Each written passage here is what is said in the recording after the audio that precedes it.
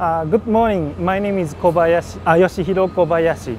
Uh, I am the product manager of Komatsu Hybrid Excavator. And now uh, we are exhibiting new Komatsu Hybrid Excavator HB215LC-2. So uh, now I'd like to explain how it works.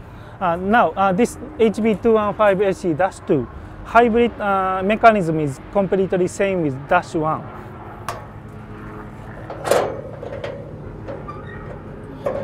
We have a special components.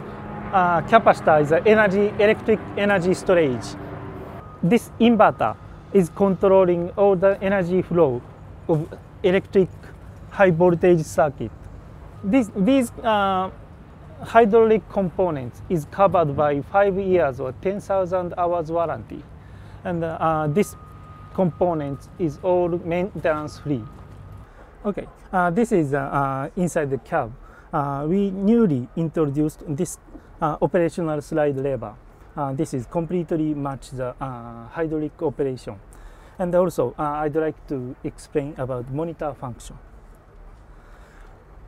operator can easily understand this instant fuel consumption and also uh, fuel consumption achievement. Also, uh, customer can easily understand uh, energy or energy flow of, of, electricity like here.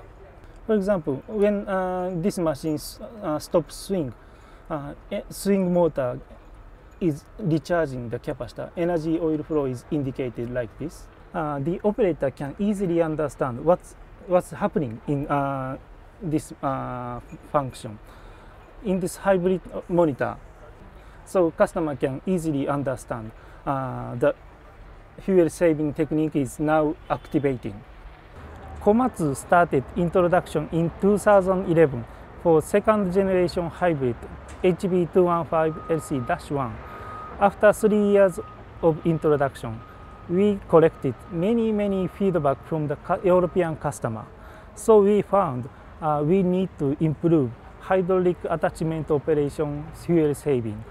This machine is now completely ready to reduce fuel uh, during uh, hydraulic attachment operation. This is a new Komatsu HB215 hybrid excavator. Komatsu is leading in this hybrid uh, excavators technology.